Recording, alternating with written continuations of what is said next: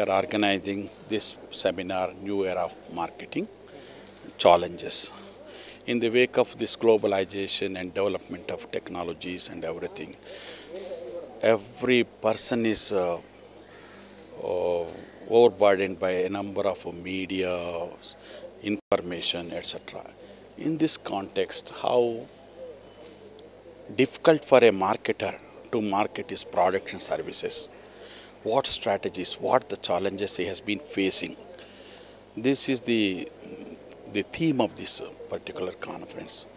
So several papers have come. They have been trying to address it, the challenges posed by the these complexities of the market about the, the marketing of products and services, and uh, in other way, the customer is also uh, subjected to a lot of um, marketing jargon, marketing warfare, products and services, competition, information, explosion and all these things. Even customer is also facing a lot of difficulty in decision making to identify a product, uh, select a product and uh, to get the right service and uh, benefits of that product. So therefore, this is the what you call the uh, domain of this particular thing on which uh, a, number of scholars have come and uh, trying to address these things. So mm, this is the most important uh, uh, theme of the today's world. World.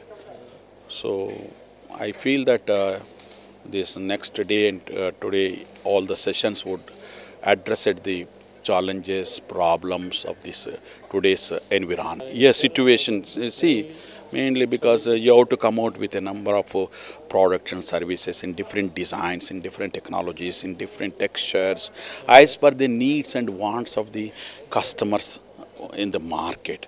Customer may have innumerable expectations about any product, any service. So as long as you do not satisfy those needs and wants, they remain with unsatisfied needs only. Therefore, it's a problem for everybody. So every marketer has to identify these things, address these things and satisfy the customer.